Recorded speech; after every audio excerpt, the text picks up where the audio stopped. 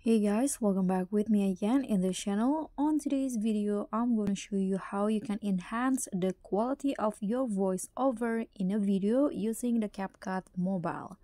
So here I've already opened my edit, so I've already record a voiceover. Let's hear so it first. this is how you can do 3D Zoom Pro effect. And I want to enhance it, so what you need to do, is just click on the voiceover Swipe through the menu and you'll find Enhance Voice. Click on that. Enable this feature.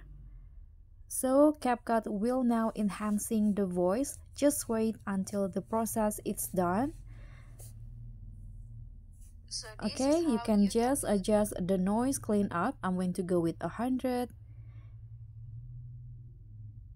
And you are done uh, when it's done you can just so click on the check icon and you'll hear so the result. you can do 3d zoom pro you can see the noise is much better now.